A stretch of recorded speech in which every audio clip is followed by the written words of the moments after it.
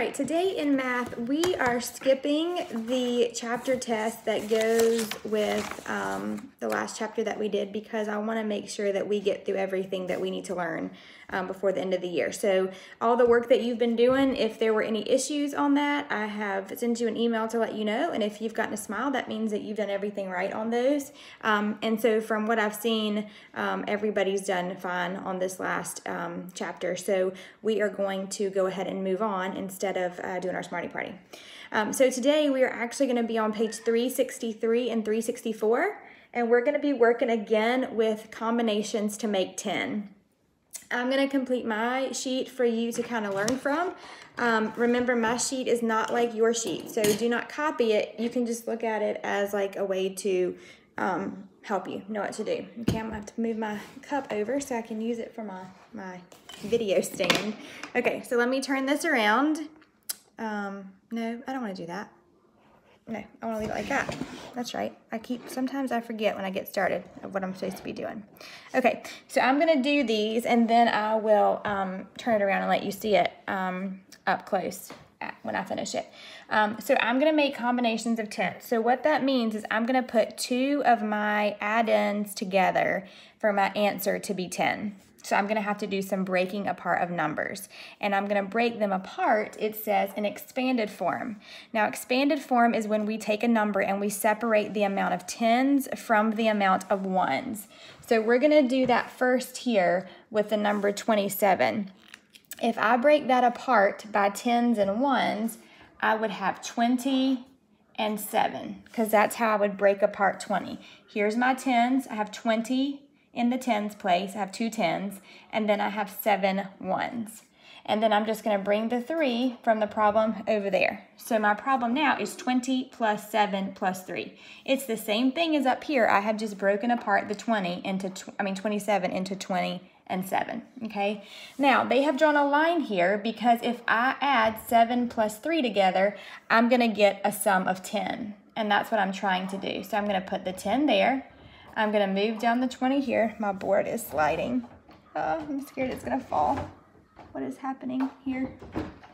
Ooh. There. Okay, I think it's starting now. All right, so 20 plus 10 would give me 30. So if I added 27 plus 3, my answer would be 30, or if I did it this way. The reason they're having you break it apart into tens is because it is easier to add 20 plus 10 than it is to add 27 plus 3 in your head for some people. So it's just a strategy. After you learn these strategies, if when you're not doing a sheet that is requiring you to break numbers apart, it's totally fine. Like right now when I add, I would do 27 plus 3. I would not break it apart to add that.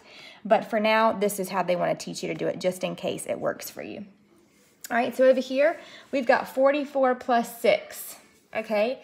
So if we look at our picture, we've got 10, four rows, so 10, 20, 30, 40. There's our 40, and there's the 6, I mean the 4, 44, and then we have the 6 that we're adding, okay? So if we break this apart by tens and ones, we've got 40 in the tens. Right here we have 40, and it comes from this number right here and then we have 4. So 40 plus 4 makes 44.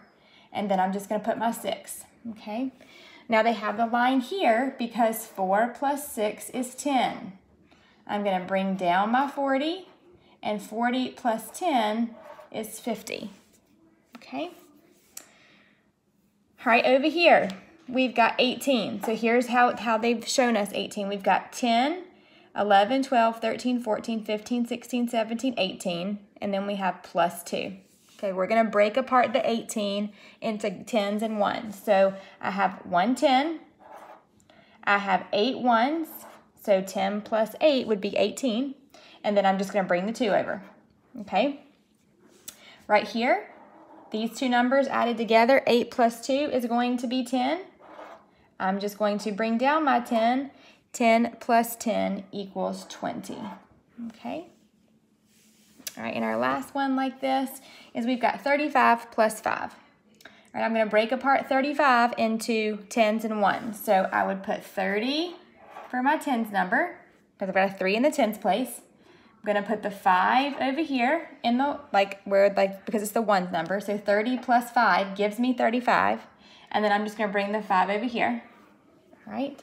I'm going to bring down the 30 and I'm going to add 5 plus 5. They put them together because we're trying to find sums of 10.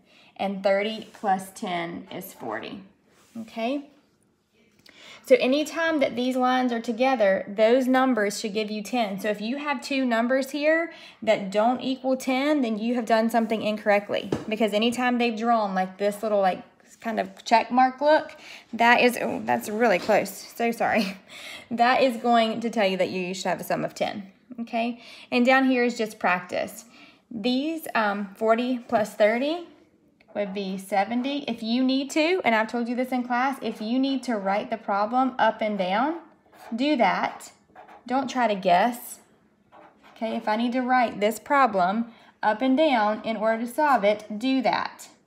Okay, 9, 5 is 59. Okay, let's see if there's anything on the back that I can do for you. Nope, those are all the same of they're not like practice for this. So let me flip this around so you can see it a little better. Okay. If you need to pause it to look at it, maybe study it a little more, you can do that. But here's what I was talking about up close, this like check mark. Anytime you have this check mark combining these two numbers, it should give you 10. So if you don't have 10, when you combine the numbers with the check mark, you've done something wrong. You need to go back and check your work okay? And these first two boxes, these should always add together to give you this first number. So if you add these two together and you don't get the number you started with, 27, like right there, then something would be wrong there too, okay? All right, so let's come back together real quick. So today you are gonna be doing page 363 and 364. 363 is looks almost exactly like the paper that we did together today.